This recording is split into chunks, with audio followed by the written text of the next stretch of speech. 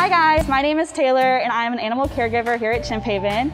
Today I'm going to be showing you what goes into the chimp's diet every day and the variety that they get here at Chimp Haven. We try to mimic their diet the best that we can to give them a healthy, well-balanced diet that they would get if they were in the wild.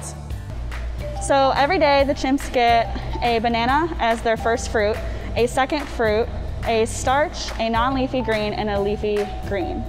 So first today, the chimps are gonna be getting their bananas. So each chimp family has a bucket and it's labeled with the chimp alpha's name, as well as how many chimps are in each group.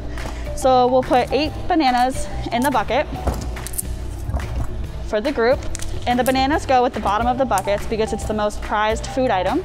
So that way, after all the chimps have gone outside or gone inside, whatever the day staff needs them to do for the day, they'll get their banana as the reward for doing what they need to do. Next, the second fruit will be added to the bucket. So today it's citrus, we have oranges.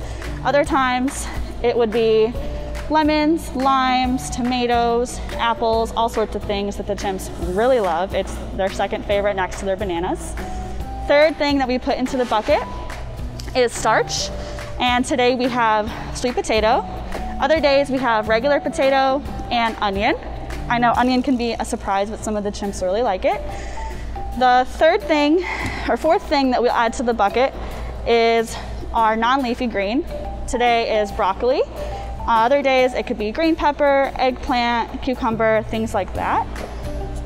And finally, what goes on top of the diet buckets is their leafy green, which today is cabbage. A lot of the chimps really like their cabbage. We also offer romaine and kale.